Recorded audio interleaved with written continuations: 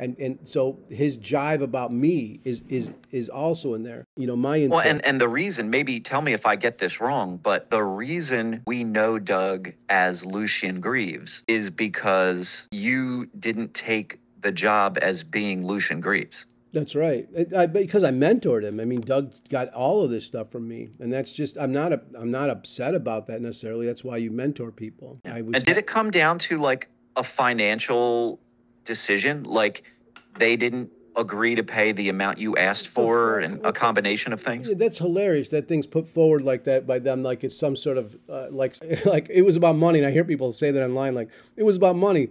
Yeah, we live in America. It's all about money. Get the fuck out of here. Contracts are about money. No shit, Sherlock. You Yeah. you you you have zero life experience when you're arguing that one. But it, it was also like I said, you can see the email chains start to trickle away when he's talking about putting people against each other. And it had to do about control over my image, control over what was going on. Like I wanted, and this was a film when we were talking about things. You know, we talked about both things. You know, you can see it when, when I'm putting the book together. We're talking about manipulating people, starting a religion, doing a film. But you can see in those emails, it's really a lot less about doing a film.